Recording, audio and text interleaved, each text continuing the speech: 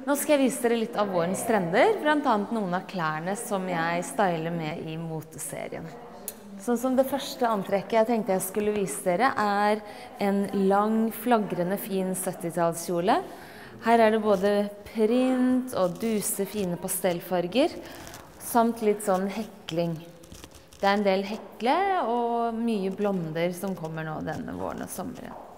Her har vi en jeansvest som er veldig, veldig høy på livet. Det skal sitte godt oppe i midjen.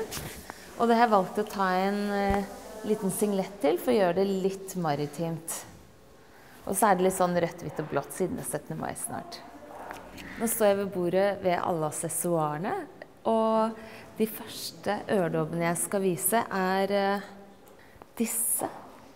Og så har vi også andre fine assessoarer. Flere av disse her med fjær.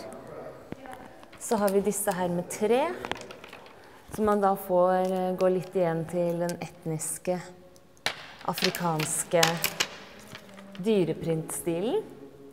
Og så helt til slutt så tenkte jeg jeg skulle vise dere noen veldig kule 70-talls kilehæler.